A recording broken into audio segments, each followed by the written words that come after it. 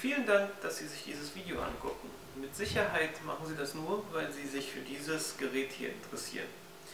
Ähm, grundsätzlich äh, muss ich Ihnen mitteilen, dass es sich bei diesem Gerät um keine Umkehrosmose handelt.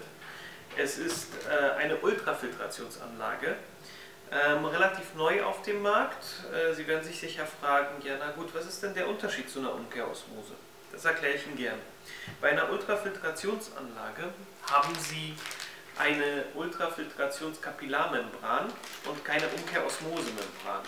Der grundlegende Unterschied dabei ist, ähm, dass bei der Filterung ähm, kein Abwasser entsteht. Hier wird das Wasser durch ähm, sehr kleine Kapillarröhrchen gedrückt und der Schmutz bleibt außen dran haften. Und das, was hier rauskommt, äh, ist sehr sauberes Wasser. Es ist zwar nicht so sauber wie bei der Umkehrosmose, es werden aber insoweit Bakterien, Giftstoffe und so weiter herausgefiltert, ähm, dass sie bestes ähm, Trinkwasser haben. Was nicht rausgefiltert wird, und das ist auch der große Unterschied zu der Umkehrosmose, sind die Mineralien. Äh, die Mineralien, die der Körper benötigt, ähm, die verbleiben immer noch in dem Wasser, nur der Schmutz und Dreck, den man da nicht dran haben will, wird rausgefiltert. Äh, weiterer Vorteil im Gegensatz zu einer Umkehrosmose ist, dass, wie schon gesagt, äh, hier kein Abwasser entsteht. Das heißt, äh, bei einem Liter gefiltertem Wasser haben Sie nur einen Liter Wasserverbrauch. Äh, da aber diese äh, UF-Membrane auch mal gespült werden muss, damit der Dreck weggeht, haben wir in dieser Anlage ein Spülventil, was äh, von Zeit zu Zeit betätigt werden muss. Und ähm, durch dieses äh, Spülventil äh, wird halt einfach mit dem Wasserdruck diese Membrane durchgespült und der ganze Dreck geht dann raus.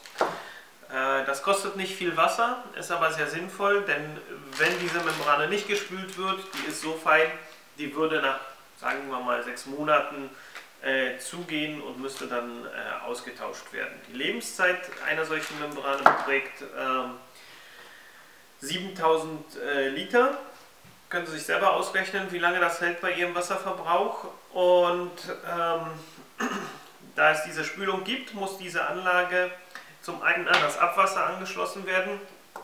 Da nimmt man sich äh, unter der Spüle in der Küche äh, den Siphon vor und über dem Bogen äh, montiert man diese Schelle mit dieser Dichtung, die geruchsdichtend ähm, und wasserdichtend ist bohrt ein 6 mm Loch in den Siphon und bringt diese Schelle an und man kann dann mit dem Schlauch äh, diesen Hahn hier anschließen. Weiterhin gibt es zu dieser Anlage noch einen äh, Auslaufhahn. Dieser Auf Auslaufhahn wird hier an diesem blauen Stopfen äh, montiert. Übrigens, unsere Anlage ist ausgestattet mit verschiedenfarbigen Stopfen. Hier der rote für Abwasser, hier der blaue für den Wasserhahn und hier der weiße für den Wasserzulauf. Damit Sie, ähm, in der Anleitung ist das auch nochmal bezeichnet, ähm, genau wissen, wie Sie die Anlage anschließen. Es ist total einfach. Ähm, Sie haben hier diesen Wasserhahn. Dieser Wasserhahn, ähm, da gibt es zwei Möglichkeiten, den zu montieren. Einerseits können Sie neben Ihrem Waschbecken in die Arbeitsplatte ein Loch bohren, 12 mm. Dann wird er hier äh, mit diesen Anschlussteilen befestigt. Den können Sie wenden, den können Sie auf Dauer anstellen oder halt nur Kurzwasser zapfen.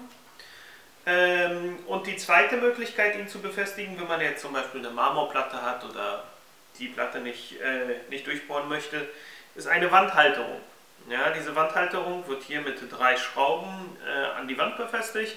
Dann kommt der Wasserhahn hier rein, und dann äh, kann man das genauso zapfen. So. Äh, für, die, äh, für den Anschluss bieten wir auch oder haben wir im Lieferumfang auch diese verschiedenen farbigen Schläuche, also das für den Wasserhahn, das für den Wasserzulauf. Und ähm, für den Wasserzulauf, der wird hier angeschlossen, äh, gibt es einen Kaltwasseranschluss mit einem äh, Absperrventil. Dieser Kaltwasseranschluss, der hier im Lieferumfang enthalten ist, hat ein Maß von 3 Achtel Zoll. Das ist das gleiche Maß, äh, was am Eckventil unter Ihrem Waschbecken zum Standardwasserhahn geht. Das ist standardisiert auf 3 Achtel Zoll. Und ganz einfach, Sie nehmen Abdichtband oder Teflonband, ähm, wickeln das so fünfmal rum um das Gewinde, schrauben den ein, schrauben das einfach dazwischen, das ist mit einer Dichtung ausgestattet und äh, an dem Schlauch Ihres Wasserhahns ist auch eine Dichtung, sodass Sie hier kein äh, Dichtband benötigen, das wird einfach reingeschraubt, das wird hier reingeschraubt. Und dann kommt ähm, hier der Schlauch rein und der wird einfach mit, mit der Anlage verbunden. So, bei der Anlage selbst handelt es sich um eine äh, fünfstufige Anlage, bestehend aus drei Vorfilterstufen und äh, der eigentlichen Filtermembrane, der UF-Membrane und einem Passaktivkohlefilter. Ähm, diese drei Filter, die Sie hier sehen, Flussrichtung ist von hier nach da, sind eigentlich nur dafür da, um die Membrane vor äh, Verschmutzung zu schützen. Würden die nicht äh, da sein oder nicht regelmäßig äh, gewechselt werden, dann würde diese Membrane sehr schnell verstopfen. Da die Oberfläche aber der Filter viel größer ist als die der Membrane, verteilt sich der Dreck hier halt in den Vorfiltern, bevor, er dann, bevor nun der feine Dreck auf die Membrane stößt. Ähm, Sie haben als erstes hier einen Sedimentfilter, 5 μ, ist mit einem Aufkleber bezeichnet, sodass man das auch nicht verwechseln kann.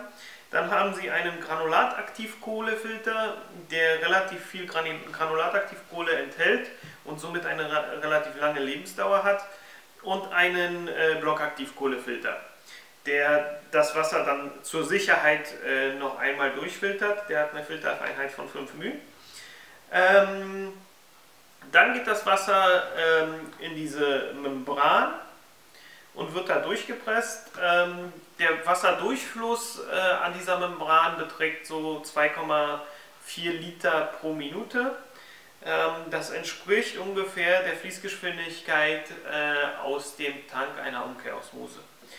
So, und ähm, am Ende läuft er dann nochmal durch den ähm, Geschmacksfilter. Das ist ein Postaktivkohlefilter versetzt mit ähm, Kokosnussschalen äh, hält so ähm, 9 Kubikmeter äh, Wasser und muss wie alle anderen Filter hier auch alle sechs Monate äh, nach DIN 1988 ausgetauscht werden.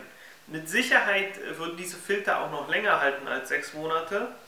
Äh, es ist aber so, dass ähm, durch die Oberfläche der Filter und ähm, dadurch, dass sie halt die ganze Zeit im Wasser stehen, ähm, nicht gewährleistet werden kann, dass sie als Fläche für Bakterien und äh, Pilze dienen.